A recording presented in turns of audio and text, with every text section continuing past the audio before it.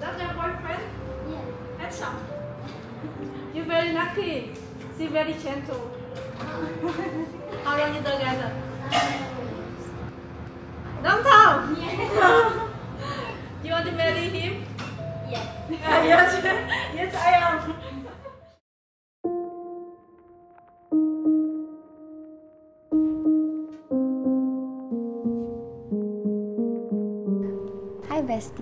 As some of you know, I just ended my four year relationship, and two of those years were actually spent living in this apartment together. So now I have to say goodbye to not only my partner, but to my home. So this will be my last video here in this apartment, so I thought it would be fitting to arrange a last bouquet of flowers here in this place because that's what I used to do in my older vlogs just as a cute little goodbye. So in this moving vlog, I will show you my entire moving process, trying to make my new apartment feel like home while also opening up about my breakup, my relationship, and hopefully sharing some advice that would help some of you out there.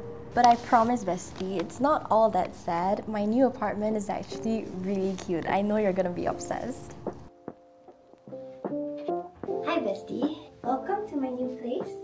I'm moving in into a studio apartment because it's easier to manage and keep clean and also I really like how like compact it is. My first place when I first moved to Australia was also a studio and I really loved living there so I want to replicate that. I actually officially move in tomorrow, but I'm coming in a day early just to do some preparation. But I also want to show you or give you an empty studio apartment tour because I posted on my story that I was moving and so many of you requested that. So let me show you the apartment. Okay, you walk in and this is the first thing that you see. You see my bed and the kitchen and to the right, you're gonna find the shoe cabinet and there's a full-length mirror here as well. Hi, bestie. and then beside it is the closet. Um, this is so small. I think this can only fit my dresses and I don't even think it can fit my coats. That's why I'm thinking of putting like an Ikea chest drawer over there. And then I have a microwave, which is so rare for um, an apartment to have. Usually you have to get your own. I've not had a microwave since I came to Australia, so this is so nice. But I wish there was an oven instead. Yeah, and then I have my fridge. So there's the freezer, there's nothing in there except like an empty ice tray. And this is the fridge. This is the kitchen. I love how small it is. So there's an induction stove. I probably need to get um, induction... What's that called? Pots.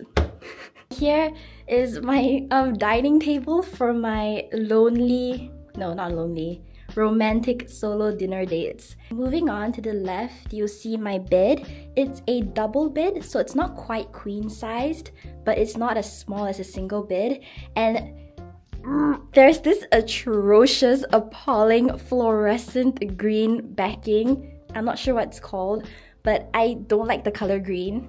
I'm pretty sure my highlighter is less fluorescent than that. So my mom's actually coming over in about 20 minutes to help me put a wallpaper over that green. Moving on to the left, you'll see my desk. I'm so excited to make videos, film, edit videos for all of you on this desk and decorate it.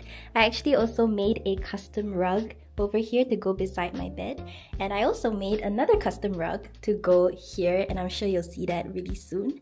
I'll also put like a clothing rack over here and hang my coats so that you know they don't contaminate my clean clothes that would be over here or in my IKEA chest of drawers here. Oh wait, I forgot to show you the bathroom. Okay, so this is the bathroom. Um, it's really small, I like it. It's easy to keep clean and it's an automatic light actually, which is really nice. So I'm probably gonna stick wallpaper over this as well. Hi, because I don't like that green. And um, yeah, there's the sink and there's a handheld shower, which is so nice. Usually it's a rainfall, but you know, sometimes like it's easier to clean things with an handheld shower. So that was my little tour. I hope you like that. So now I'm just gonna wait for my mom to come and then we're gonna stick over this thing. I've never really shared too much about my relationship online and you've always respected that. So I just want to say thank you. I have more shoes, but it's still at the other apartment. But oddly enough, because you've given me the space that I need, I finally feel comfortable enough to open up for the first time. Let me know in the comments if it's heartbreak season for you as well.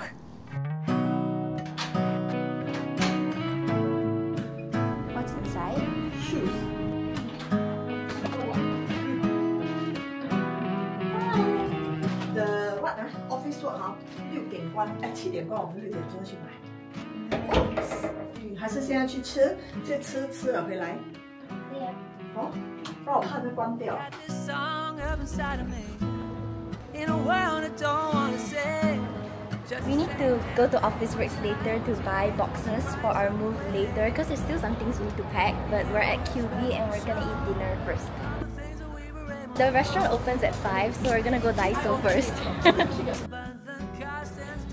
lost my mom.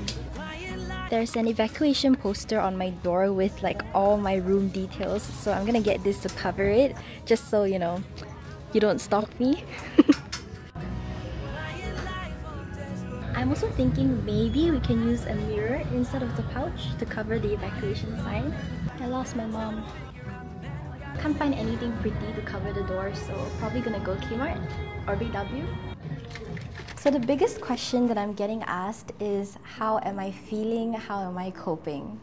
I've always found Kmart stuff to be a little bit nicer than Big W, so I have faith that we're gonna find something here. Can I just say, breaking up when you've lived with that person is so much harder. You can't just leave and block him and just move on. You have to think about things like who's getting the kettle, who's taking Richard the rice cooker. this is too big, but it's only $5. Wow. I really like that. It's like an irregular shape. It's not completely circle, which I really, really like. My mom thinks it's a bit weird though. she just doesn't get the vibe.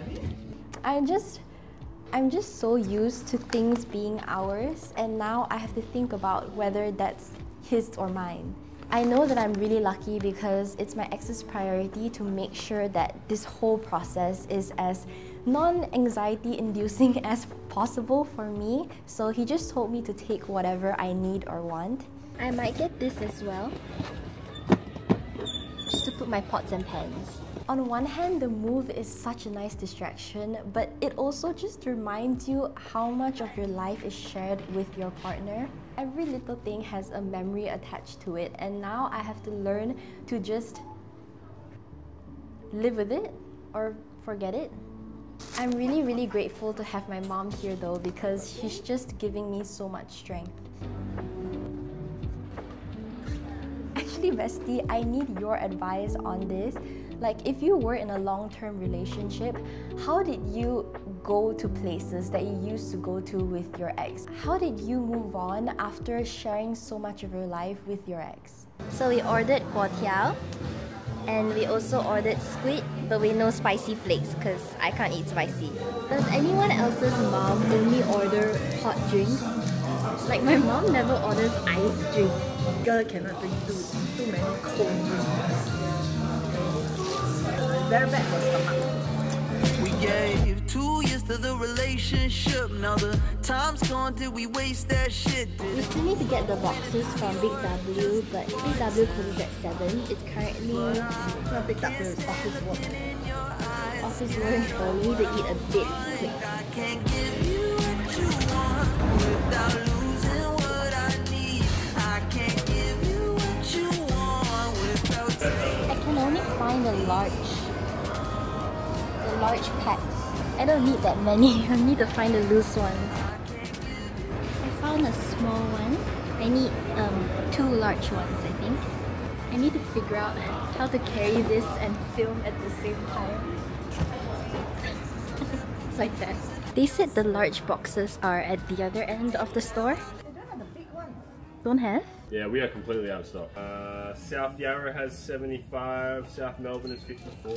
Uh, they shot at 9, yeah, absolutely. The city Officeworks doesn't have any more large packing boxes, so we need to go to the one at South South Bank. Let's go to that one. You need to be quick though, because it closes at 9. I can't give you what you want without taking care of me. It's 7 We're here! I think we found it. I keep losing my mom. Found her!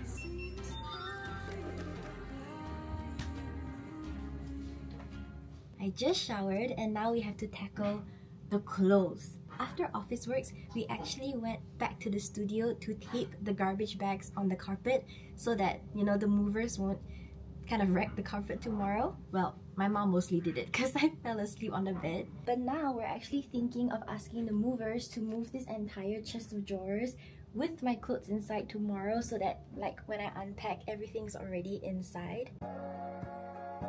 I've never been in a relationship. Does life change drastically once you're in one? For me, it did. Because in 2020, a few months after we started dating, he gave me a camera. He noticed that I was researching a lot about YouTube, watching YouTube. I just loved YouTube a lot. Okay, so here's what I'm thinking. You tell me if it's a good plan. First drawer, undergarments and pajamas. Second drawer is sweaters. Third drawer is jeans and tops. I'm really worried that's not gonna fit. And at that time, we were doing long distance, and so he just told me to go downstairs one day because he sent a package to my house. And in that package was a camera. And he said to me, you know, you've always wanted to start your own YouTube channel and now you can. And that was how Faye Films was born and that's how I met all of you. And so it's funny because four years ago, he helped bring me to you and now you're all helping me navigate this new chapter without him.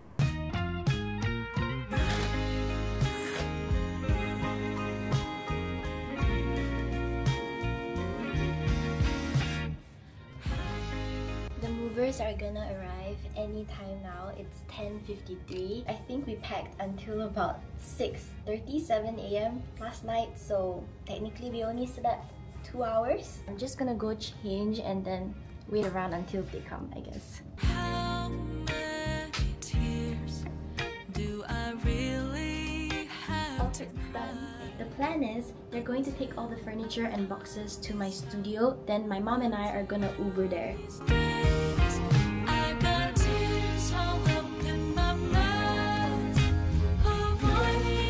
That's it. That's the apartment. I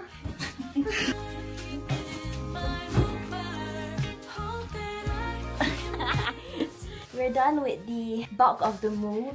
There's still like my makeup back in the apartment, but at least most of it is here. We're gonna ignore this problem first and head to eat lunch. So let's do that first. Well, do you regret being in a relationship at a young age? Yes and no. I was actually talking to my mom about this. So, the relationship that I was in, I started when I was 18, but I feel that it didn't stunt my growth in a way that a lot of young relationships do. I got really lucky because I was in a really supportive relationship. So he supported me when I wanted to go to Australia, pursue immunology. I mean, he encouraged me to start YouTube. But if I were to be 100% honest, I do feel like I lost myself in this relationship a little bit. I'm back in Kmart Bestie because I need to buy a bookend to hold all my books on the shelf. I'm just so used to having him around. Like, if I didn't want to talk to someone, he'll do it for me. If I felt overwhelmed in a social gathering, he'll be there to pick me up. I never really had to learn to be okay with being alone because he was always there. We might have to go Daiso. And so the problem with that is that now I don't really know how to be alone or find joy in being alone. So, definitely one of the hardest parts about this breakup is learning to enjoy being myself again and learning to learn about myself, you know? Okay, bestie, we're at the final leg. I don't know if you can see, but my mom and I stuck the flower wallpaper on the ugly green bits. One panel down, the entire thing to go. I did this part of the bed as well since there was so much extra. We also did the bathroom and it is so easy to install and remove and it just makes things so much cuter. Now this is the current situation that we're dealing with. So basically, my mom and I have already shoved things into the drawers in places that we think make sense. Like we've also already pre-organized some of the clothes here, but it's still very messy. So that means the drawers are full already and the cabinets are full already, but we still need to find a home for all these things lying around. Let's start with the clothes. We both saw this coming from a mile away. So this chest of drawers are done. Let's move on to that. I'm thinking that this will be for sweaters that I can't fold and maybe some jackets because I don't have anywhere else to put them. Pajamas, comfy pants, and all of them are sweaters. I'm thinking of making this my beauty station. So how's your healing journey so far and what gave you comfort during that time? I went to London. I actually spent the entire time catching up with old friends. You have seen it on Instagram. And that trip really healed something in me. I don't know, there's just something about talking to your old childhood friends that just feels so natural and judgment free. After that trip, I actually met with Saki and Eve, and we've agreed to meet every single week for a few hours just to study together, hang out, or anything like that. Let's organize the kitchen next. And so, hanging out with friends, making plans with them, and just getting out of the house so that you don't think too much, you know, has really helped me. And yeah, it just, you know, talking to them just makes me feel so much better. My friends have really helped me get through this hard time. Of course, my greatest achievement in life. Now we need to house my children. My mom gave me this as a present for coming to Australia to study. This one my friend Eve sewed for me. This is from my solo trip to London. This is Cami. My dad bought me this in Dubai. And this duo is from the University of Melbourne's um, gift shop. And I got this when I was looking at penguins in Phillip Island. Now we're going to do all the final touches and you are going to be obsessed. I wish you loved yourself just a little bit more. I wish you saw what I saw, girl. Mr. Koala goes on the bags. This is actually Miki's toy. She slept with it every single night. If you didn't know, Mickey is my childhood dog and I'll link the shorts that I made about her. But I brought it to Australia and I'm gonna put her right on the TV so that when I wake up, I see her first. This angel was given to me by Saki. It's from Croatia and it's handmade. And there you have it, besties. My room is finally complete. I'm so, so happy with this. I was a little bit extra, but I think all of you would be too if you're moving into your dorm. Let me know which part of my room do you like the most and also comment down below if you're excited to live alone in the future or you're someone that prefers living with others. Moving and filming at the same time was really difficult, so be sure to like and subscribe if you enjoyed the video. So here it is, our last bouquet here in this apartment and I'm just so excited to go on this next part of my journey with you besties.